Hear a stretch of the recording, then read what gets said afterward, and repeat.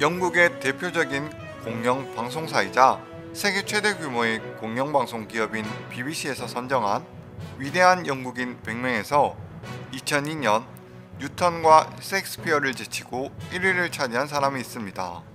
바로 2차 세계대전에서 독일에 맞서 영국과 서양을 수호한 정치가로 유명한 윈스턴 처칠이 영국인들에게 존경의 대상이 되었던 겁니다. 그는 세계 대제국으로서의 영향력을 떨치던 해가 지지 않는 나라 빅토리아 시대에 태어나 청년 시절을 보낸 후 대영 제국의 최전성기의 장년 시절을 보냈습니다.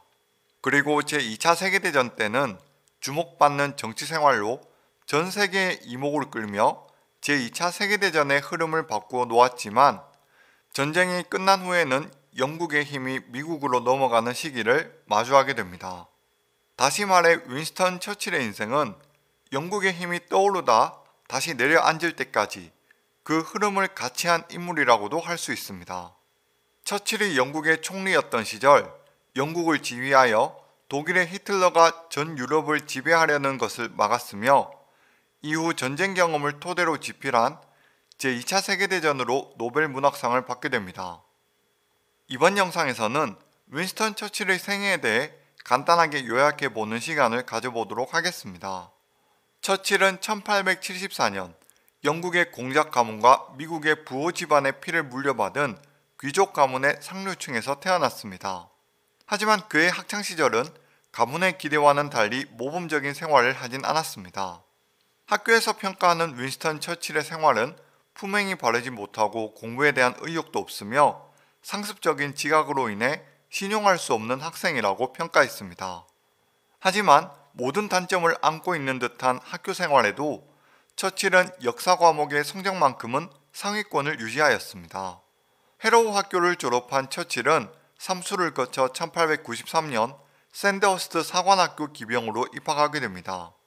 기병학과에는 처칠의 재능이 없었던 수학 과목이 없었고 이 때문인지 사관학교 졸업 당시에는 전교 10등 내의 성적으로 졸업하게 됩니다.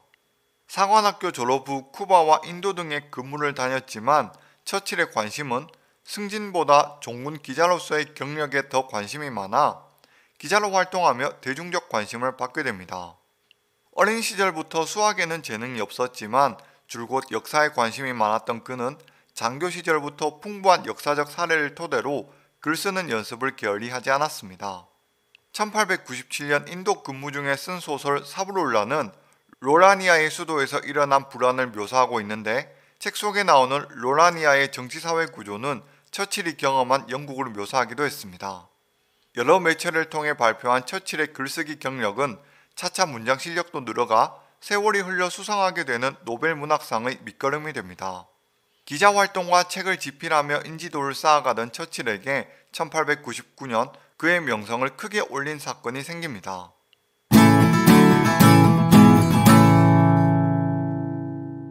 윈스턴 처칠은 남아프리카 보호전쟁에서 포로로 잡히게 되지만 신부로 위장하여 탈출하는 데 성공하며 20대 중반의 젊은 장교 전쟁 영웅으로 주목받게 됩니다.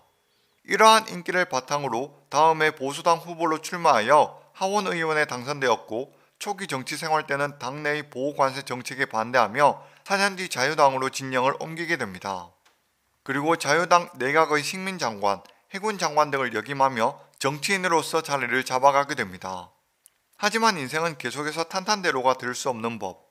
처칠은 제1차 세계대전 중 독일과 한편이었던 터키를 상대로 작전 실패로 많은 병사를 잃게 됩니다. 여론은 이에 대한 책임을 지라고 했고 그는 1915년 해군 장관직에서 물러나게 됩니다. 이후 정치 활동을 이어가다 잠시 정치계를 떠나기도 했지만 여전히 글을 쓰고 연설을 하고 다니며 자신의 목소리를 내는 활동을 이어나갔습니다. 처칠은 과거 보수당에서 자유당으로 진영을 옮긴 적이 있지만 자유당은 국가의 적극적인 분배 정책 개입을 주장하는 사회 자유주의자들의 영향력이 높아졌고 이에 처칠은 노동운동에 대한 의구심을 품으며 다시 보수당으로 복귀합니다. 이어 1920년대 처칠의 정치적 활동은 자유무역주의를 주장하고 총파업되는 강경한 탄압을 주장하기도 했습니다. 하지만 1929년 처칠은 내각 총사퇴 이후로 10년간 보수당 주류와 입장을 달리하는데 당시 보수당 주류는 대독일 유화 노선을 취하던 시기였습니다. 그때의 영국 보수 정권은 독일의 파시즘 정권이 공산주의를 막아준다고 간주했던 것입니다. 이에 처칠은 독일에서 한창 비대해지고 있는 군사력은 필시 영국에게 큰 위협이 될 것이라 주장하며 군비 증강을 주장했지만 보수당의 주류를 설득하지는 못했습니다. 그리고 이러한 처칠의 관점은 정확하게도 2차 세계대전 때 드러나고 맙니다. 1939년 폴란드 침공으로 시작된 독일군은 빠른 속도로 유럽을 장악해 갔으며 독일과의 관계를 유화 정책으로 일관하던 영국은 아무것도 할 수 없었던 겁니다. 그리고 영국에서는 1940년 네빌 체인벌린 총리가 사임하고 처칠이 취임하게 됩니다. 이로써 총리가 된 처칠은 1차 세계대전과 2차 세계대전의 전시 내각에 모두 참여한 영국 유일한 정치인이 됩니다. 다음은 그의 취임 연설 중 일부입니다. 제가 여러분께 드릴 수 있는 것은 피와 수고와 눈물, 땀뿐. 우리 앞에는 가장 고통스러운 시험이 기다리고 있습니다. 우리 앞에는 투쟁과 고통으로 점철될 수많은 세월들이 기다리고 있습니다. 우리의 정책이 무엇이냐고 물으신다면 이와 같이 답변하겠습니다. 육지와 하늘 그리고 바다를 가리지 않고 주님께서 주신 모든 힘을 가지고 이제껏 인류가 저질러온 수많은 범죄 목록 속에서도 유례없었던 극악무도한 폭정에 맞서 싸우겠습니다. 그것이 우리의 정책입니다. 우리의 목적이 무엇이냐고 물으신다면 한 단어로 대답하겠습니다. 그것은 승리입니다. 승리. 어떤 대가를 치르고서라도 승리, 어떠한 공포가 닥쳐올지라도 승리. 그 길이 아무리 멀고 험해도 승리 없이는 생존도 없기 때문입니다.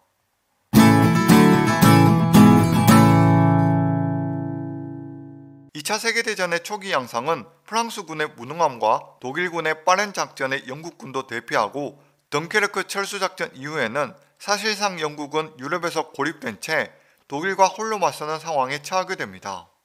국민들은 공포와 걱정 속에 앞날이 암담한 상황이었지만 처칠은 불안 속에서도 용기와 희망적인 메시지를 던졌습니다.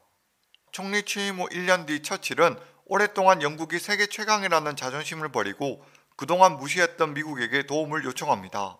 국가 이미지만 부각시켜서는 국민을 잃어버릴 수 있다고 판단해 미국에게 호소를 하게 됩니다.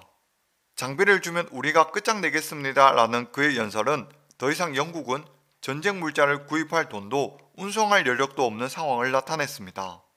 당시 미국의 무기 수출법은 대금 선불과 구입자 운송을 원칙으로 하고 있었는데 처칠의 호소는 무기를 그냥 주고 여기다 운송까지 해달라는 뜻이었습니다. 이에 루스벨트 대통령은 미국 의회를 설득해 무기 대여법을 통과시키고 미국 방위에 필요하다고 인정되는 어떤 나라에도 무기를 대여할 수 있게 됩니다. 이에 영국은 310억 달러, 1940년대 물가 기준으로 우리 돈 35조 원의 무기를 공급받게 됩니다. 전쟁 기간 동안의 처칠은 이러한 행보로 영국 국민들에게 희망과 용기를 불러넣어 그 인기도 절정에 달하게 됩니다.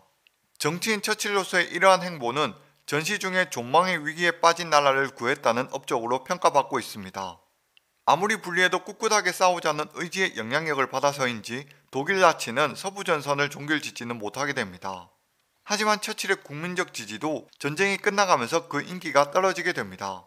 유권자들은 전시 때는 처칠의 리더십을 존경했지만 전쟁이 끝난 상황이 되어서는 복지국가를 약속하는 노동당의 선거운동 메시지에 관심을 갖게 되어 1945년 총선에서 처칠의 보수당은 패배하게 됩니다. 결국 처칠은 전쟁에서는 이겼지만 영국 총선에서 패배를 맞이하게 됩니다. 2차 대전 이후 그의 연설로는 철의 장막 연설로 유명함을 알리기도 했습니다. 철의 장막 연설에서는 앞으로 유럽은 반분될 것이고 미국과 영국이 특별한 관계를 이어가며 자유진영의 보루가 될 것이라 하여 시대의 흐름을 제대로 읽는 통찰력을 보이기도 했습니다. 정치인으로서의 황금기는 지났지만 제2차 세계대전 당시의 회고록을 쓰는데 이 글이 바로 제2차 세계대전사로 출간 직후 엄청난 인기를 끌어모았고 1953년에는 노벨 문학상을 수상하게 됩니다. 그는 글솜씨뿐만 아니라 아마추어 수준을 뛰어넘는 화가이기도 했습니다. 그는 정치인으로서 보여준 강건한 모습과는 달리 정신적인 부분에 있어서는 평생 우울증에 시달렸습니다. 그런 그에게 그림은 우울증을 치유할 수 있는 치유제가 되었습니다. 특히 인상파풍의 풍경화로 유명한데 미국의 아이젠하워의 주선으로 미국에서 회고전을 열기도 했습니다. 이번 영상에서는 제2차 세계대전으로부터 영국을 지켜낸 처칠에 대해 다루어 보았습니다. 그럼 끝까지 시청해주셔서 감사드리며 평안한 하루 보내시길 바랍니다.